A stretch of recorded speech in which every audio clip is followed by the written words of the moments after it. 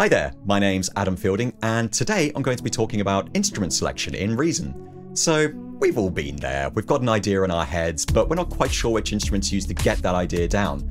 So, I thought it'd be interesting to have a look at some of the devices in Reason and which ones I would choose for any given purpose.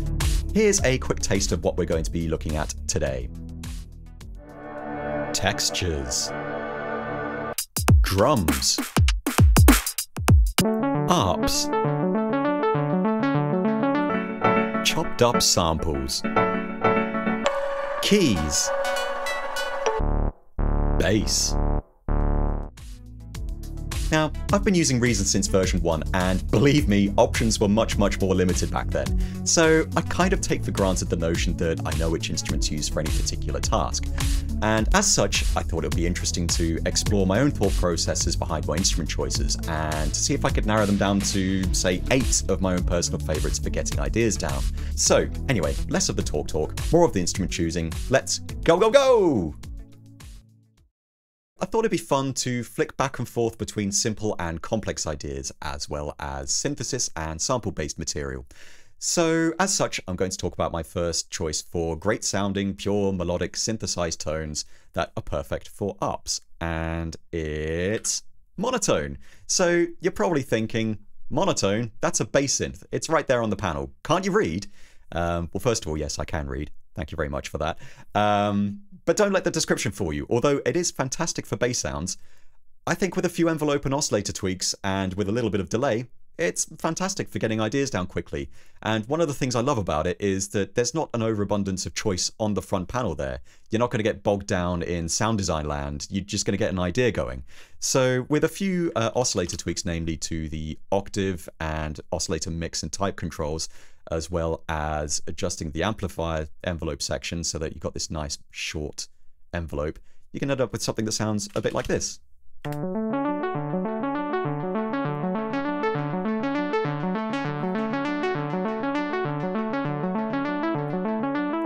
And I love the sound of the filter on monotone as well. Really nice and squelchy. So it's not the most complex idea in the world, but it's a good place to start in terms of just getting an idea down. And that's kind of the key thing here. You can't get bogged down with sound design with this instrument, and in my opinion, it always just sounds great. So naturally, like I said, it does sound great as a bass instrument as well. Secondly, let's uh, let's go in the opposite direction. Let's say you want something textural, um, a nice mix filler. Then you've got a sample that you want to work into the mix, or or not. You just want to have a have a have a look around and see what works. In either case, let me suggest grain. Now, Grain is a wonderful idea generator. Here I've opened a sample from the factory sound bank called Octave Hall, and that sounds like this.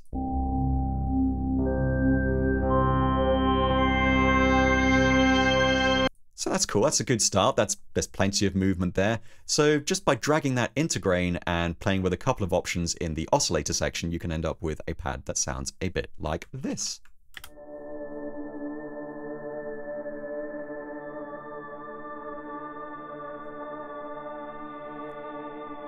So it's just this kind of juddery, sort of atmospheric textural thing going on.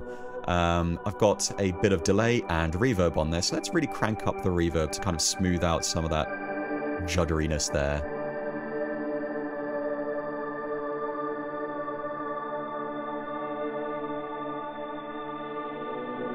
And of course you can adjust the speed and jitter controls if you want it to, to be a bit more busy. Or straightforward.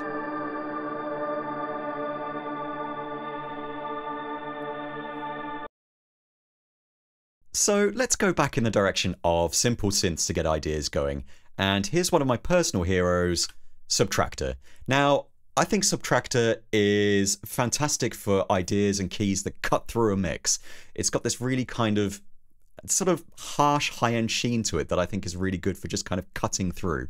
Um, I've got a little idea here which I very quickly knocked together and with a little bit of reverb courtesy of the RV7000 and that sounds like this.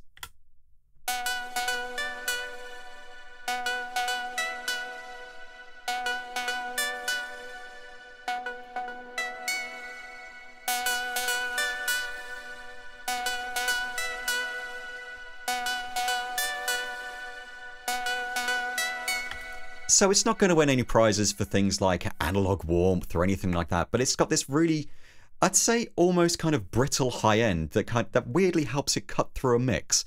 And by using the FM section with the two oscillators here, I've managed to create this really sort of harsh sound. So this is all well and good, but you want to sort of develop your idea further or just get things going. You don't want to get too bogged down in the world of sound design, but you want a bit of flexibility to kind of to sort of mess around with your ideas and create something that's that's your own. In that instance, I'd highly recommend using Mimic. So Mimic is wonderful for exploring both factory bank, sound bank samples and your own samples and creating something new from them. So here I've just loaded a factory sound bank patch called Space Zither, which comprises two elements. You've got the main key element, which I've replaced with my own sample, and the second element, which is this thumb pluck.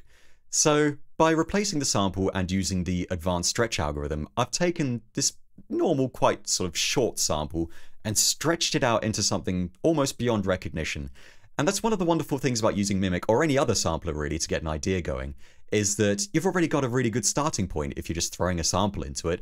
And it's great for exploration because you can explore samples in the factory sound bank or your own personal library and just see what pops out. So in this instance, by using this preset and replacing one of the samples and stretching it out a bit, I've created this kind of plucky key sound.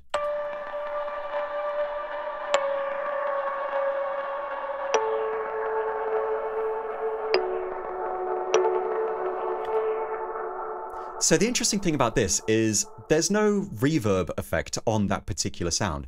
It's all baked into the sample, which itself was quite was quite short originally, but by just stretching it using the advanced stretch algorithm, it creates this really big sort of enveloping tail, which is which is fantastic. So like I said, you've got a really solid starting point by using any patch with Mimic really, and then just by tweaking it and stretching it out, you can create a sound that suits whatever you're working on or or might get ideas going.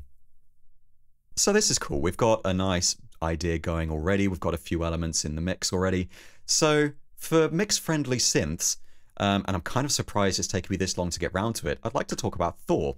So Thor is one of those old faithful devices that I always turn to if I just need an interesting element in a mix that isn't going to completely overwhelm everything. It's one of those good synths that's great for both bread and butter and character sounds, but it's it doesn't sort of overwhelm a mix unless you go nuts with the effects but that's kind of on you really um, and i think it's just it's just a wonderful sounding synth so here i'm using one of the bass patches from the excellent tom pritchard sound design vast refill and i'll include a link for that in the description below and I mean, it's it's just great. So so I'm just using one of the presets from this refill, and it sounds like this. So it's just a nice simple pedal bass sound. And I was incredibly fortunate to test Thor back in 2007 before the release of Reason 4 and it kind of blew me away when I first started using it. It's the ultimate semi-modular synth distilled into Reason's welcoming environment in my opinion. And to be honest, I can't really do the synth justice in in this amount of time. But again, I'm going to use this opportunity to say if you haven't already, download Tom Pritchard's outstanding selection of refills. I'll include a link in the description. It's instant inspiration and it's just great for dropping into a mix to, to sort of develop ideas further. So, so far, we haven't actually talked about drums, which I think is kind of an important part of a lot of music. Um, so, there's so many options you can choose from for getting drums down in Reason. There's the Umpf series, which is excellent. There's Kong, which is great if you want to design your own drum sounds. But I always find myself turning back to Redrum or Redrum, however you want to pronounce it. Everyone's entitled to be wrong. to be honest, I'm still not entirely sure how you're supposed to pronounce it, um, but I call it Redrum. So here I've just loaded up a kick sample, a snare sample, a little percussive click, and a hat.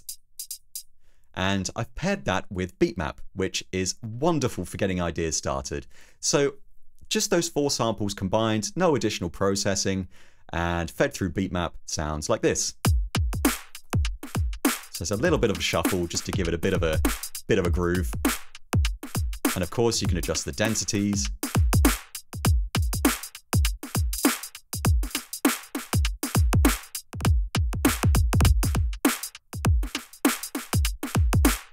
So there we go, a nice little drum pattern ready to go. So say you've got this idea going or you want to get something started and you're thinking, I'd like to add something textural, but with more of a melodic twist. Um, grain was very useful earlier on for sort of creating that sort of mix filling kind of pad, but you want something a bit more, more sort of melodic, like I said, and atmospheric.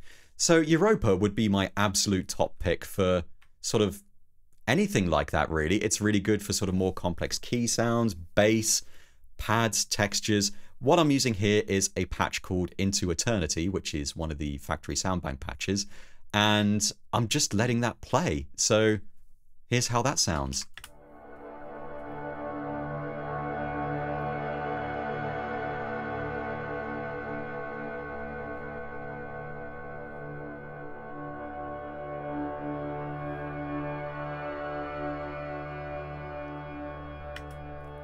Um, if I want a rich key type sound or a huge pad, I reach for Europa. It's just got this really wonderful flavor. It's wonderful with sounds that gradually shift over time thanks to its clear interface and multitude of envelopes and LFOs. So this is all well and good. We've got all these nice sounds going. We've got textures, we've got drums, we've got arps, we've got keys. Um, but it'd be nice to add something sort of rhythmic with a bit of a melodic element to it. So weirdly, my suggestion for those kinds of sounds would be the NN19 or the NN19 as it's sometimes known. So you might be thinking that's a weird choice. So what I've done here is I've taken a sound from the Reason Factory sound bank, which is called Lo-Fi Chords. It sounds like this.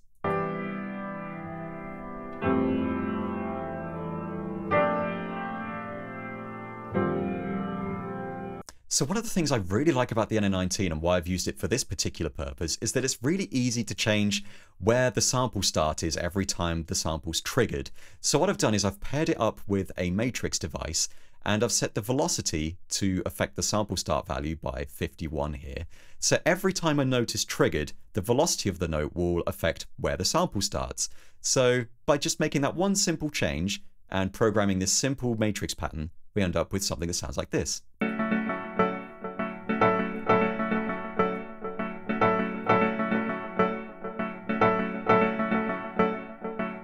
And then you can adjust the sample start further.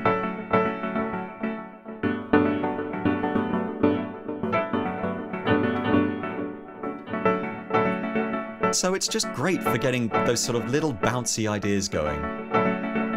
So it's great if you've already got an idea that you just want to add that little sort of extra extra little bit of flavor to, or if you just want something to get an idea going, it's a fantastic, straightforward place to sort of just just play around with. So now you've got a bit of a taste for sort of what which devices I would use for particular instances for things like textures, drums, arps, chopped up samples, keys, basses, both synths and samplers. But you may have noticed that all of these individual elements actually fit together. So here's what they all sound like when played together.